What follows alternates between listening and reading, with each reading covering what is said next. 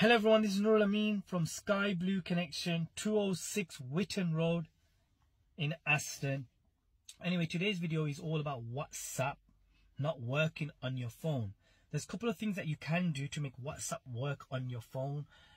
Recently, we've had a lot of customers come in and they've come in with their older models of phones and it's not working. So there is a way around it. There's a couple of ways that you can try. A, go to software update update your software on your phone.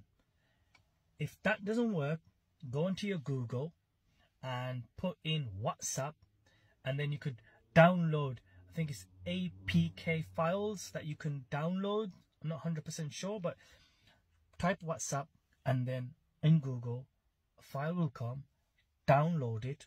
It'll go, if you got Android, it'll go into all files. Then go into your all files and then click on that press download and inshallah everything like whatsapp should start working through a different avenue instead of your play store.